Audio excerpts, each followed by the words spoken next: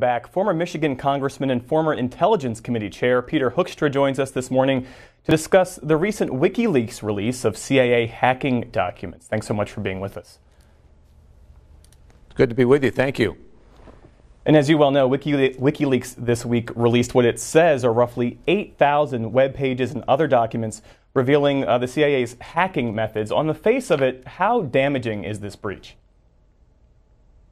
I think it's uh, very, very damaging. This is a situation where we now have an intelligence community uh, that really is in crisis. Obviously, it has an, its own internal problems uh, where you see this kind of massive uh, release or this massive breach of its systems. The other thing that you have is you have an intelligence community now that has a crisis of confidence with the American people. Uh, the American people are wondering how does this happen? This is now the third time. We had the, the breach from Bradley Manning, we had the breach from Edward Snowden, and now we've got this breach of the CIA. So you've got an intelligence community that uh, is kind of in free fall with the American people wondering what's going on? How come our spies can't keep secrets. We have a, you know, we have a spy community that cannot keep secrets. That's not good. So, what more should be done, do you think, to safeguard uh, the CIA secrets? Well, there's a couple of things that need to happen. Number one, there's a question as to why the CIA even had this type of cyber capability. Uh, it used to be that all of this cyber kind of capability, that was the, responsibility of the NSA. I guess there's now four different intelligence communities that, or four different parts of the intelligence community that are kind of duplicating their own capabilities. So you've got four areas that you have to protect. And the question is, why are we creating these little fiefdoms all over the intelligence community? Uh, why don't we have it in one central place so that we've only got one real area that we've got to protect uh, where we do this kind of work? Uh, there's also been reports that the systems within within the CIA old computers, old computer systems, old security mechanisms. Clearly, if you want to be the premier cyber warrior uh, in the world today, you need to make the proper investments. So I think Congress is going to have to take a look at this and determine whether the proper investments have been made uh, to make sure that our systems are up to date. And the third thing you need to do is obviously you got to go back and take a look at uh, the procedures uh, that you have in place. Is the culture right? Are the procedures right? Uh, do we have the best tools in place to protect our data? You know, why can't or why hasn't the government so far been able to shut down WikiLeaks? Well, I mean, uh, WikiLeaks uh, clearly is uh, very good at, at what they do. Uh, the second question is, has that been a priority, or has uh, you know has an administration, has an executive branch uh, agency been given the authority or the directive to shut down WikiLeaks? And the third question is, if you shut down WikiLeaks, they still have the data. Uh, do they take that data and just transfer it to someone else? So the real question is, what's the value of shutting down WikiLeaks, at least their access to the public, if by shutting them down, they just take this information uh, and move it someplace else and it still gets to the American people? Former Congressman Pete Hoekstra is our guest this morning. We're talking about this week's release by WikiLeaks of what it says are the CIA's hacking methods, and we're, as always, taking your calls. The line for Democrats is 202 748 8000. The line for Republicans is 202 748 8001. And the line for Independents is 202 748 8002. Now, earlier this week, WikiLeaks founder Julian Assange held a press conference uh, Thursday, and he discussed what WikiLeaks plans to do with the additional information it has on the CIA's hacking tools. Take a listen. It has a lot more uh, information uh, on uh, what has been going on with the cyber weapons program. Uh, and so I want to announce uh, today that after considering um, what we think is the best way to proceed and hearing these calls from um, some of the manufacturers. Uh, we have decided to uh, work with them uh, to give them some exclusive access uh, to the additional technical details we have uh, so that fixes can be developed and pushed out so people can be secured. And then once this material is effectively disarmed by us, by removing critical components, we will publish additional details about what has been occurring. Now, if Assange is to be believed, how do you think tech companies should respond to his offer? Well, I think uh, tech, tech companies uh, should reject his offer. Uh, Julian Assange is, uh, is a terrible individual. Uh, the stuff that he is releasing now makes America less safe. Uh, he's revealing what we call sources and methods in the intelligence community.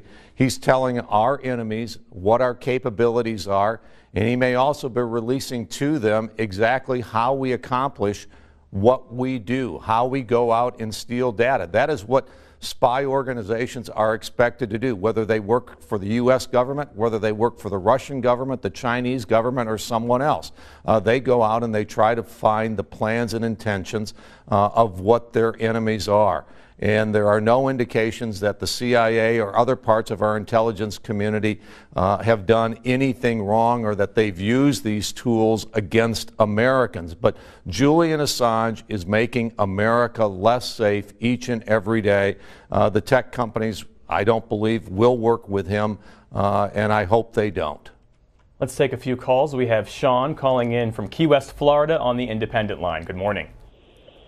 Morning, gentlemen. Yes, uh, as a former investigative broadcast journalist, I would like to posit that we're approaching this from the wrong direction. We should be looking not to uh, shoot the messenger, but to find out if the, the message is correct. That these people might have been using these devices to actually penetrate the American population. You take a look at uh, Bradley Manning, the things that he pointed out were terrible. They, they go against everything the American people stand for, actually murdering people. And, and he pointed those things out, and he goes to jail for that. You have Mr. Snowden, who points out that the NSA is, is heavily involved in monitoring the, the people and the freedoms of the United States. And now we have WikiLeaks, and we want to shoot the messenger again. We need to find out if these people are actually doing these types of things. I would I would point out to you, gentlemen, as as having been a, a student uh, traveling in Europe uh, after the Second World War, that those people in Germany, I asked them about the Jewish question, and they said there was nothing they could do about it. It's the same thing that we as Americans are doing now. We're involved in wars that are killing millions of people, and if you stop anyone on the street, they will tell you, "I'm sorry." There's absolutely nothing we can do about it. Again, I posit we're looking at this question from the wrong direction, and I'll take my response off, off the air. Thank you, gentlemen. Yeah, thanks. Uh, thanks for the comment, Sean. The interesting thing here is that Bradley Manning, Edward Snowden, and we don't know who did this last leak of the CIA data.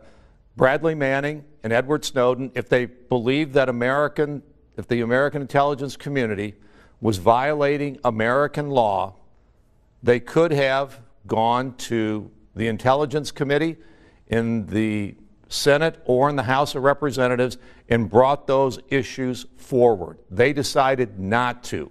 Uh, that is, uh, that is, those are treasonous activities. They had other channels where they could have brought their complaints or their, their concerns uh, to be investigated and be investigated in a proper manner, and they decided not to do that. I share some of your concerns. Uh, an intelligence community that does not keep its secrets, can't keep its secrets, uh, indicates something, an, an organization that does not have proper controls in place. Where I get concerned is does that mean that when James Clapper comes out, the former director of national intelligence, and says to the American people, I know that these tools that we have in the intelligence community to spy on foreigners, which is our job, I can with, high, uh, with a high degree of certainty tell you that those tools are not used against Americans.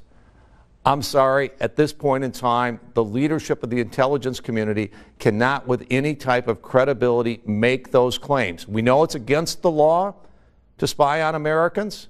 We know that, I know, and I've met these people, that it's very much against the culture of the people in the intelligence community to use these tools against the American people. But the community has demonstrated a lack of internal controls, that we don't have the certainty that there may not be some rogue elements that are using these tools against Americans. And Congressman, this, this data breach is one thing, but I have to ask you, why do you think the intelligence community, the uh, NSA, the CIA, the FBI, uh, has a persistent problem, it appears at least, uh, with leaks to the media? Why they have the problems with the leaks to the media? Yeah.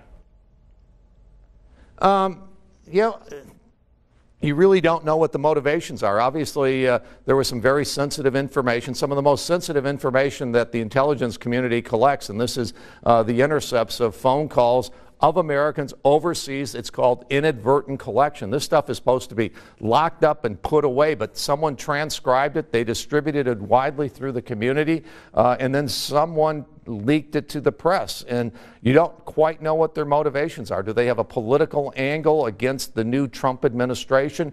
Uh, do they have uh, an agenda against their own uh, agency that they may work for? It's hard to determine what the motivation is uh, because the acts are illegal, and in certain cases, uh, they make America much less safe. Uh, and they make us very, very vulnerable. So, yeah, why they behave in that way, uh, it's hard to determine, and until you actually catch these folks uh, and take a look at it, we probably will not know what their motivation is.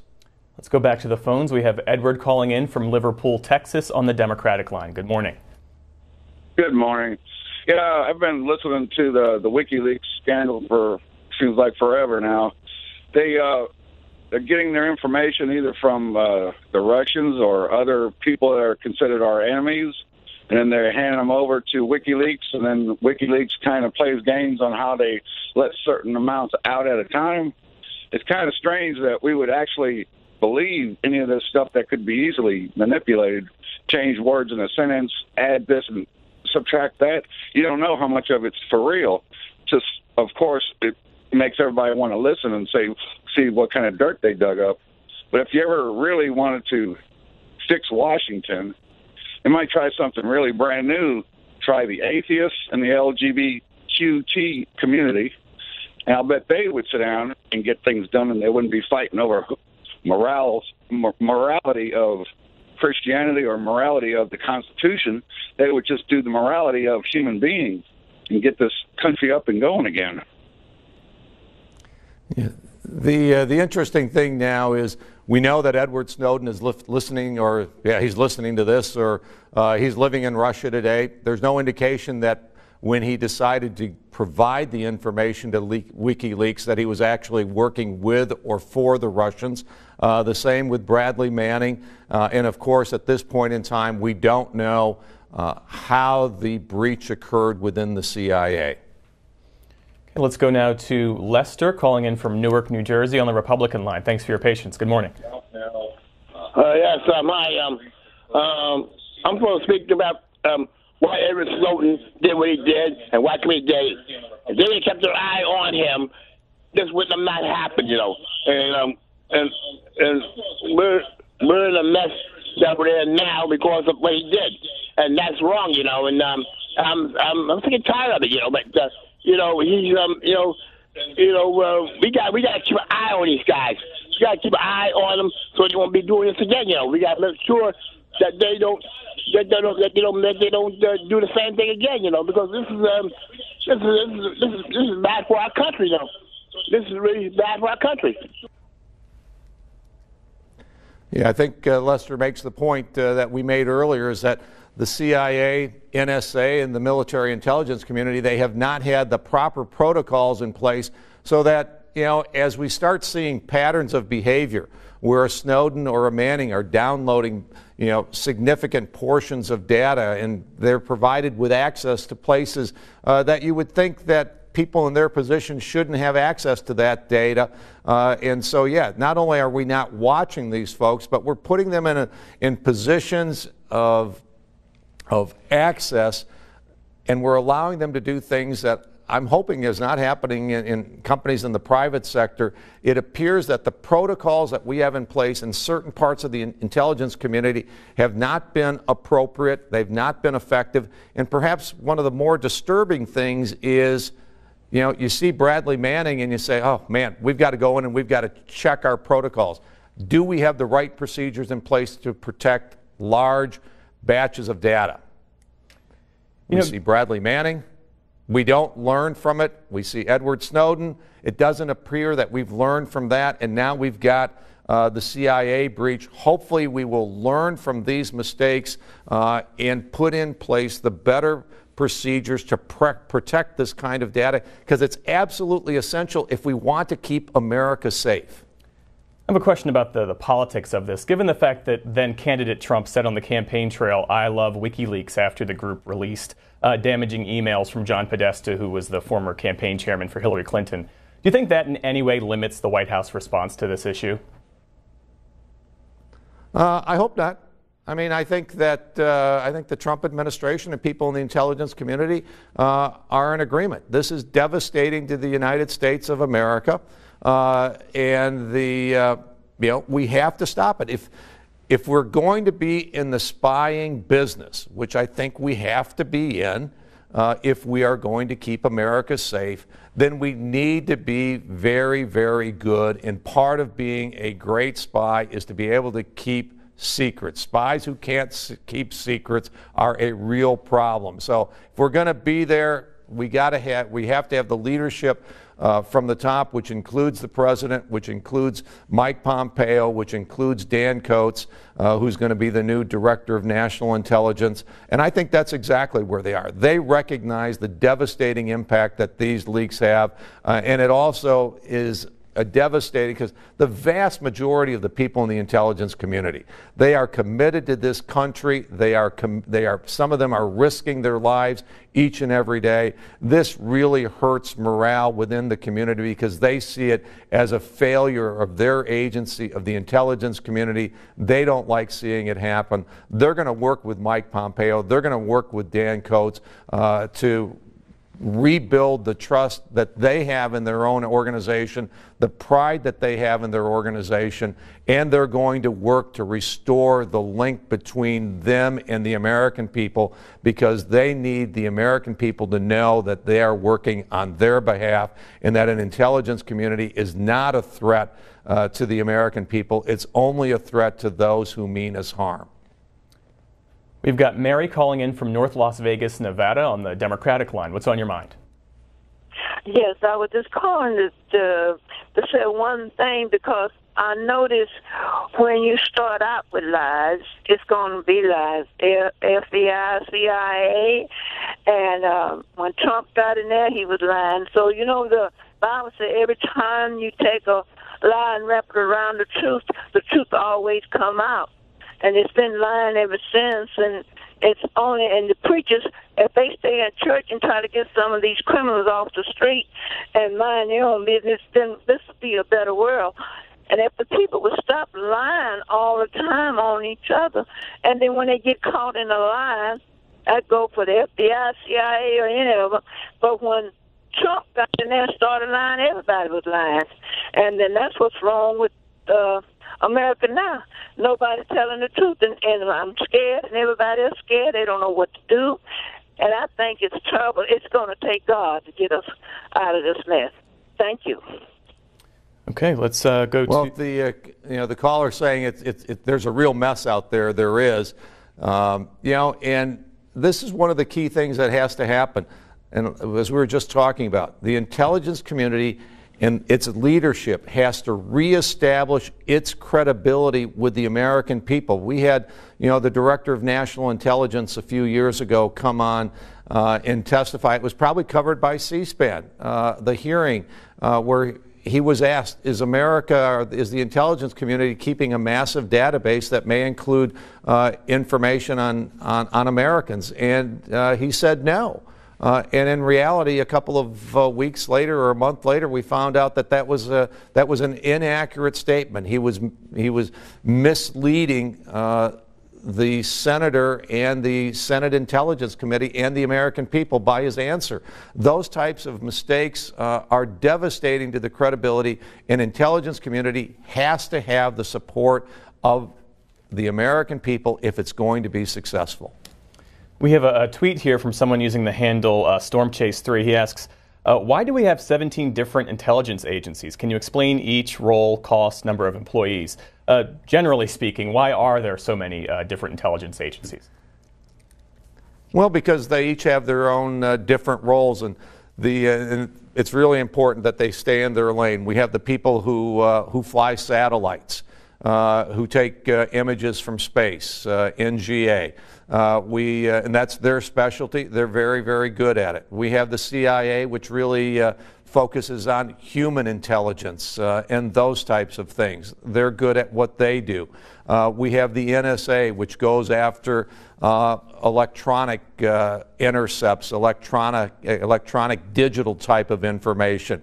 Uh, we have the intelligence uh, branches in each of the military services, which is there to provide accurate information intelligence in a more real time basis to our men and women uh, on the battlefield. And so, uh, you know, that, that gives you uh, a general feeling for that they each do have specific roles uh, with specific customers or consumers of the information that they provide.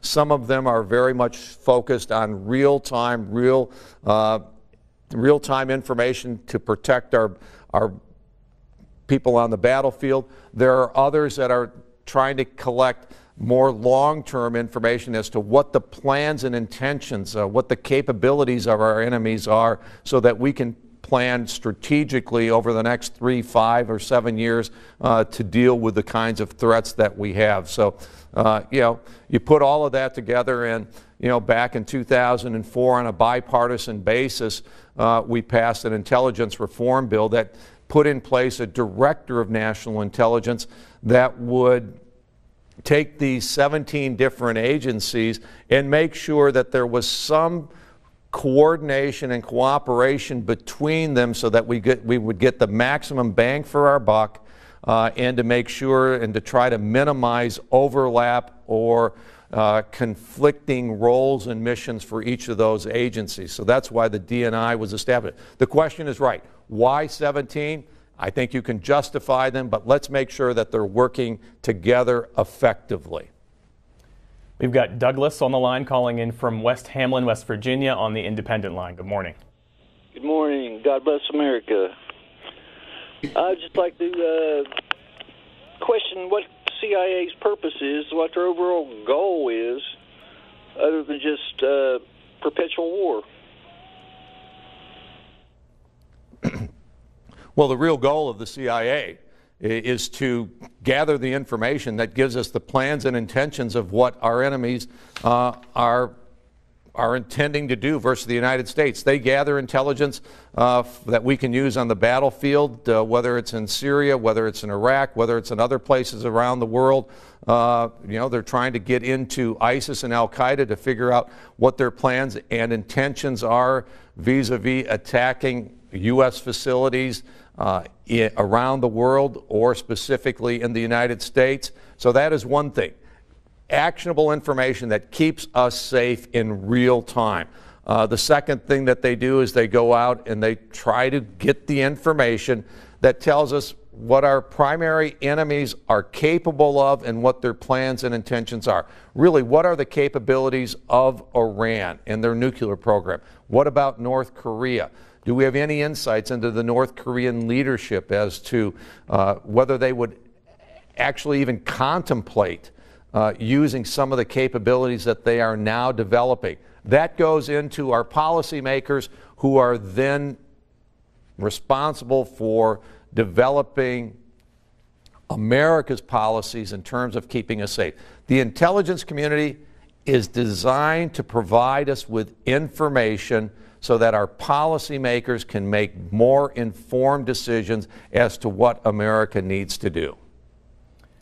Uh, Catherine calling in from Mobile, Alabama, a Democrat. Good morning, Catherine. Good morning. First of all, sir, I have a couple of points, but my first one is this. I took physics in school. Now, I'm an old lady, so I've been around a long time. I was raised in the 50s and the 60s. So let's talk about why we're getting hacked. The reason we're getting hacked, sir, is you cannot go outside and capture a sun ray and put it in a jar. Any information that goes over the air is vulnerable. You will have a patch for it, sir, and then there will be 10 more people trying to undo it. The technology of this country should be used in addition to our other security. We need to have a closed loop system for the Pentagon and all important things, sir. Anytime you put it on air, there is no way to hold it. Please understand this. That is very, very important. I do not understand where the brains and the logic in this country has gone, except for to the money train, because technology makes a lot of people a lot of money. And instead, we've got these people testing us right now with this WikiLeaks mess. They're testing us. What if they shut down our systems, sir? All of our systems, our power grid, our water grid. Do you not think that they're going to do this? I know with logic. I am a student of logic. I took it in college. I don't understand how our country has gotten so out of control, except for we've had men running it. Sorry, guys, but y'all have done a terrible situation, made a terrible situation worse. We women need to take over. We need to get this country under control, have pragmatic leadership that does not lie. Donald Trump is a liar. He is the most dangerous thing to our national security. I am sorry, but he is. He is a liar. He and so is Mike Pence. We saw it on TV yesterday. Mike Pence came out and said he did not know of this information when Elijah Cummings had written that man a letter and sent it to him back in November. This has got to stop. I'm with the lady that called in from Nevada or wherever she was. The lion, the lion, the lion. That is the threat to our country, sir. The uh, a couple of points here. The uh, the first is, according to WikiLeaks, the CIA system was a closed loop. Uh, so they actually got into about the most sensitive and secure place uh, within the CIA. I'm not in government. I'm not on the intelligence committee uh, anymore. I don't know whether that is accurate or not. The, uh, the second point that you make is, I think, X is an excellent point, which is talking about you know the breaches that we've had today with Manning, Snowden, and now the CIA. CIA have been about losing data. That, that really hurts, and it hurts the capabilities of our intelligence community. It also points out that in, on the cyber battlefield, America doesn't appear to dominate the same way that it, it dominated uh, the traditional battlefield of smart bombs, uh, you know, and, and, those types of things, stealth bombers and those. On the traditional battlefield, America is the best in the world and no one disputes it. Russia and China, you know, they're challengers, but we're better than they are. On the cyber battlefield, we not only have to deal with Russia and China, but people like Iran, which is an, uh, a threat to us. They're very good on the cyber battlefield. Israel, which is an ally, they're very good on the cyber battlefield. Uh, then you have to worry about people like North Korea and non state actors like ISIS. Uh, they're not as good overall in cyber, but they may have very specific areas where they are good. And the point that you make is something that I worry about very much. Cyber is the wild, wild west. There's no rules in cyber about what people may do to each other. And yes, they can come in and potentially take down part of our grid attack a nuclear plant, um, take part down part of our financial system. We, I believe, we're very vulnerable. Uh, and one of these days, someone is going to attack uh, part of that system, and we may not know who it is. Uh, cyber, the cyber battlefield, is the great equalizer. We are not the premier, the best uh, cyber folks in the world. We are good, but there's others that are probably our equal, so we should be very, very worried about that. Uh, in terms of uh, the political comments that you've made about uh, Mike Pence, uh, Donald Trump, I'm sorry. Uh, the, these are honorable people. These are people who we elected to be our president. Uh, and I hope that, uh, yeah, personally, I hope that Democrats start recognizing that we have elected a president uh, and that uh, we start working in a process rather than being the resistance uh, and that we actually recognize we need to work together and get some things done. And I think Mike Pence uh, and especially Donald Trump are about getting things done about immigration, national security, and those types of things. And I hope that Democrats start working with Republicans and rather just being a resistance resistance movement. And finally, about uh, putting women in charge uh, of everything in America will be great. Uh, you know, I'll pass on making any comments on that. Okay, our final call for this half hour comes from Mindy in St. Paul, Minnesota. She's a Republican. Good morning. Good morning. I agree with the lady as far as and as far as um, Mr. Hoekstra does. This has become a real dangerous situation we're in now with the data loss and I've been following this pretty closely, and most of it is the CIA. And when they had this breach of the data this time, there was a contract with Apple, Samsung, Google, and there were other other affiliations that the CIA was supposed to inform them so they could knock down some of the issues that were going to occur. They did not. The CIA did not. They also said that now that all this data was taken, anybody could put rumors, plant stuff, and there would be no fingerprints on the data. So that if they want to go in and put something on Russia and Trump now, they can, and nobody would know it. And then, as well as um, Obama, before he left office, he signed in 16 more departments that could have um, access to all the secret and confidential data we knew, and he knew that this would create more leaks. Oh, really? That's why all of a sudden the leaks are that they're wiretapping? I feel that was to cover that up.